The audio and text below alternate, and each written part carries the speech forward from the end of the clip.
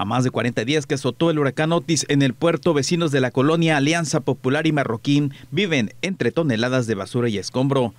Desde calle Luis Echeverría de la Alianza Popular hasta la calle Nerón del fraccionamiento Marroquín se aprecian sobre la arteria colchones, sillones, tinacos, árboles secos y desechos que ya desprenden malos olores. Los vecinos manifiestan que ante los cúmulos de basura ya se han presentado enfermedades gastrointestinales, por lo que hacen el llamado urgente a la autoridad municipal. Desde que pasó esto, el OTI, no han venido a traer basura para acá. Y ya mucha gente se está quejando porque la persona lleva su basura y se quejan que porque huele feo, que ya no, no debemos echar basura ahí. Y la verdad, pues no tenemos a dónde echarla.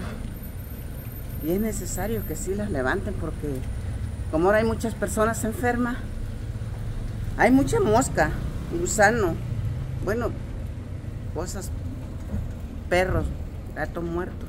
Pues la verdad queremos que vengan este, a recoger la basura porque pues la verdad ya hay mucha y hay gente que ya se han, bueno, todos nos estamos este, quejando que por las enfermedades huele mal, las moscas y la verdad sí hacemos este, el llamado a las autoridades que vengan este, a recoger pues la basura. Y pido a las autoridades que nos vengan a quitar la basura de aquí porque es un foque infeccioso para todas las, las familias. Yo quisiera que vinieran a limpiarnos la calle, que hay mucha basura y la verdad no aguantamos el apeste, hay mucha mosca, entonces no, no se puede y se está tapando la calle con la misma basura, que quisiéramos que vinieran a ver cómo, está.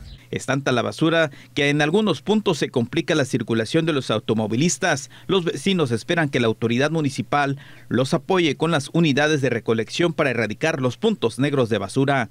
Para RTG Noticias, Cristian Núñez.